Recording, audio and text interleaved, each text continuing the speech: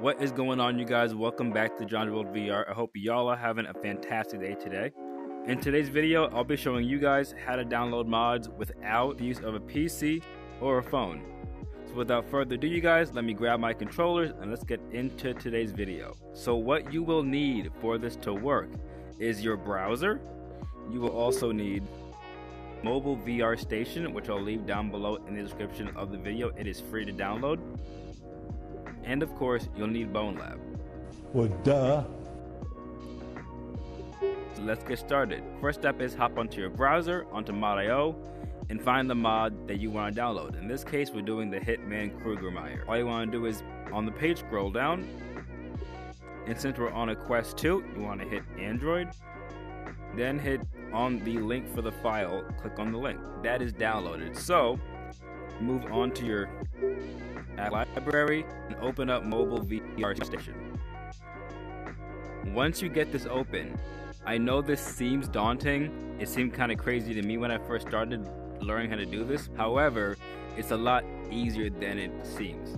With the mobile VR station open, click on local files, then click on downloads.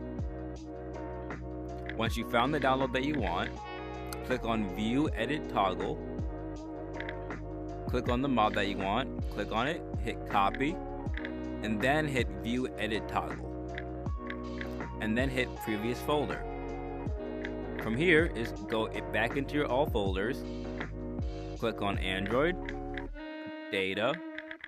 You're gonna wanna scroll down to the bottom because that's where you'll find Bonelab.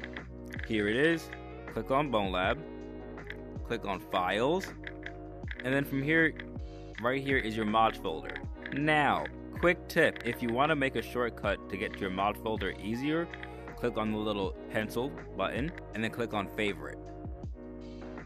And just like that, you made a small little shortcut for yourself. Continuing, open up your mod folder, click on view edit toggle. Right up on the top, you'll have two options, paste and paste move. Click on paste move.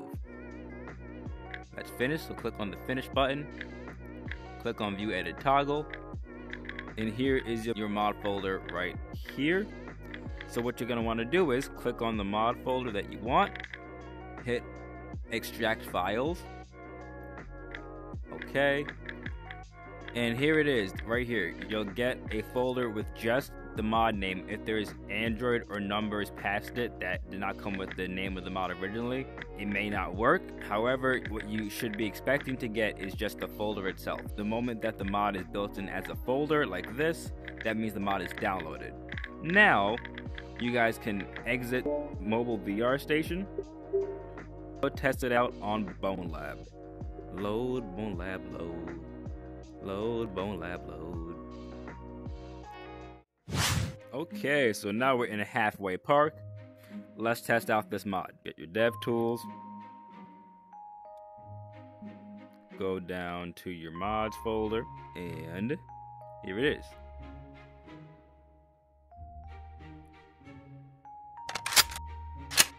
And just like that, guys, we got the mod in here, and it works, and it looks amazing. So for any weapons test, we need some forwards.